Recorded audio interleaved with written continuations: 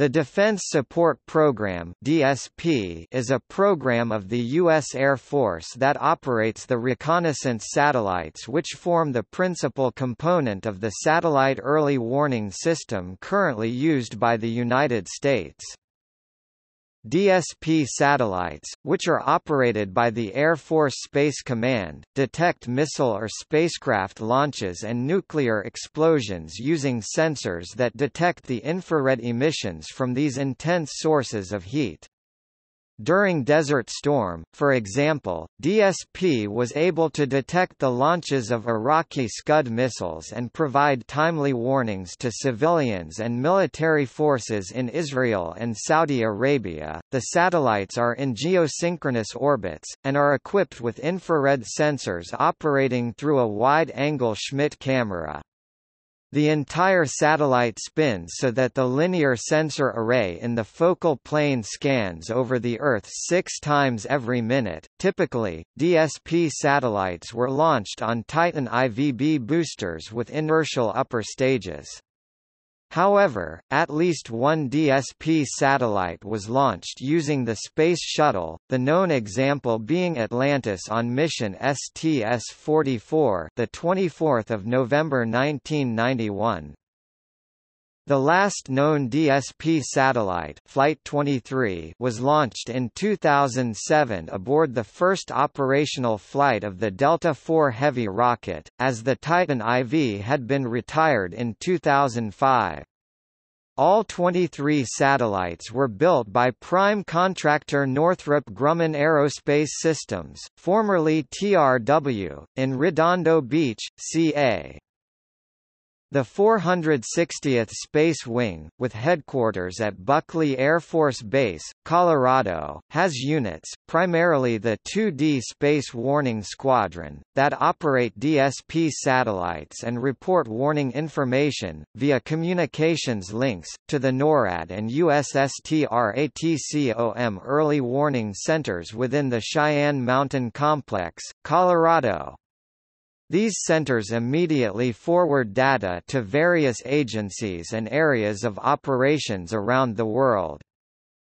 Air Force Space Command's SBIRS wing at the Space and Missile Systems Center, Los Angeles AFB, California is responsible for development and acquisition of the satellites.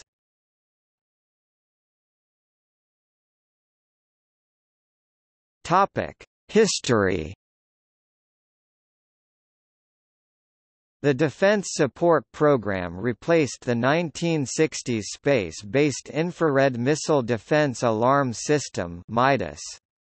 The first successful launch of MIDAS was 24 May 1960 and there were 12 launches before the DSP program replaced it in 1966. The first launch of a DSP satellite was on 6 November 1970 and since then it has become the mainstay of the United States Ballistic Missile Early Warning System. For the last 40 years they have provided an uninterrupted space-based early warning capability. The original DSP satellite weighed 2,000 pounds 900 kilograms and had 400 watts of power, 2,000 detectors and a design life of 1.25 years. Throughout the life of the program, the satellite design has undergone numerous improvements to enhance reliability and capability. The weight grew to 5,250 pounds 2,380 kilograms, the power to 1,275 watts, the number of detectors increased threefold to 6,000 and the design life has been increased to a goal of five years. The numerous improvement projects have enabled DSP to provide accurate, reliable data in the face of evolving missile threats. On-station sensor reliability has provided uninterrupted service well past their design lifetime. Recent technological improvements in sensor design include above-the-horizon capability and improved resolution. Increased onboard signal processing capability improves clutter rejection. Enhanced reliability and survivability improvements were also incorporated. The 23rd, and last DSP satellite was scheduled to be launched on 1 April 2007, aboard a Delta IV Heavy rocket, but the launch was postponed until mid-August 2007 after two structural cracks were found in the metal launch table at Pad 37B, caused by a fuel leak during testing. Further delays forced the launch back to the 11th of November 2007, when the satellite launched at 1 hour 50 minutes and 0 seconds Greenwich Mean Time, 2050 Eastern Standard Time on the 10th of November. This satellite died in space sometime during 2008, for reasons unknown. It is now adrift in geosynchronous orbit and remains a potential hazard to other craft.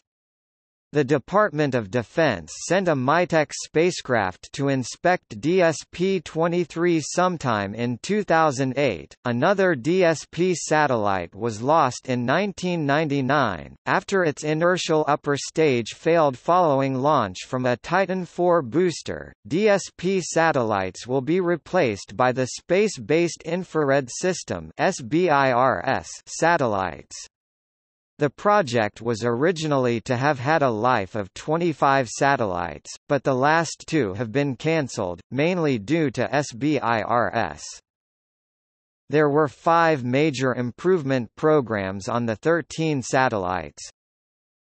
Block 1, Phase 1, 1970–1973, four satellites Block 2, Phase 2, 1975 to 1977, 3 satellites. Block 3, Multi-Orbit Satellite Performance Improvement Modification MOS PIM 1979 to 1984, 4 satellites. Block 4, Phase 2 Upgrade 1984 to 1987, 2 satellites. Block 5, DSPI DSP improved, 1989 More recently, there has been some effort put into using DSP's infrared sensors as part of an early warning system for natural disasters like volcanic eruptions and forest fires.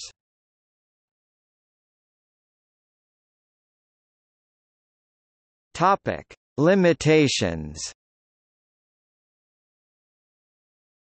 The DSP constellation may have offered an excellent vantage point for an early warning system against state-centric threats such as missiles, but military analysts warn its ability to collect intelligence on non-state actors is severely limited.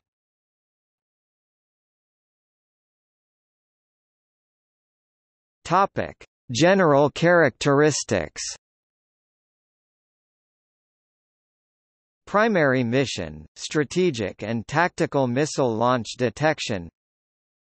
Contractor team, Northrop Grumman Aerospace Systems, formerly TRW for satellite bus and Northrop Grumman Electronic Systems, formerly Aerojet Electronics Systems for IR sensor, Weight 5250 pounds 2380 kilograms Orbit altitude 22,000 miles 35,900 kilometers. Power plant solar arrays generate 1485 watts. Height 32.8 feet 10 meters on orbit 28 feet 8.5 meters at launch Diameter 22 feet 6.7 meters on orbit 13.7 feet 4 2 meters at launch. Date first deployed 1970 Latest satellite block SATS 18 to 23 Unit cost $400 million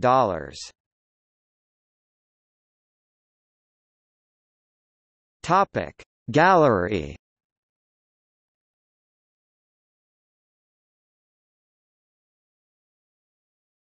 Topic. See also. Missile Defense Alarm System MIDAS. Space-Based Infrared System SBIRS